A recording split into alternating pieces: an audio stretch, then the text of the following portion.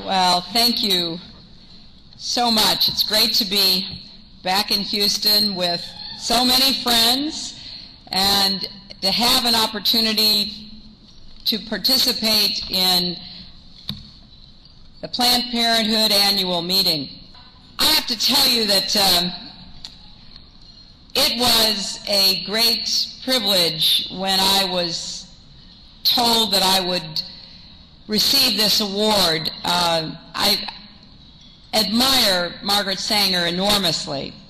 Her courage, her tenacity, her vision.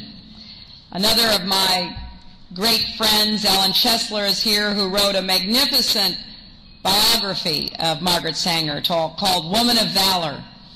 And when I think about what she did all those years ago in Brooklyn, taking on archetypes, taking on attitudes and accusations flowing from all directions, I am really in awe of her.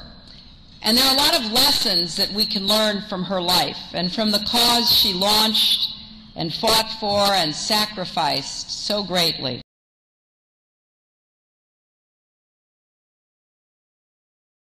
Do you believe in sin? When I say believe, I don't mean in believe in committing sin. Do you believe there is such a thing as a as sin? Well, I think the greatest sin in the world is bringing children into the world that have disease from their parents, that have no chance in the world to be a human being, practically, delinquents, prisoners, all sorts of things just marked when they're born.